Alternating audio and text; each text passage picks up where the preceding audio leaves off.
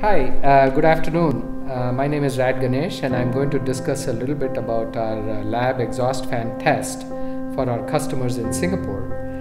Um, this uh, plume height test that we are going to be doing shortly, although it's not a part of any standardized test, it does give a very good visual representation as to how high the plume goes.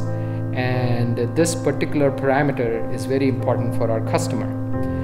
The fan we are going to be testing is a Twin City Fans BAIFE 300 LV and it has got a discharge nozzle um, with the operating point being set by dampers on the inlet.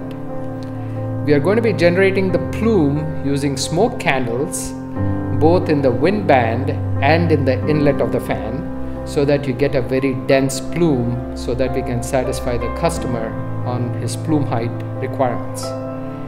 The height of the plume is measured with the help of a drone uh, and a video camera and also we are going to be validating that plume height using a protractor and some trigonometry. Now, uh, now we are going to go and uh, witness the test. Thank you.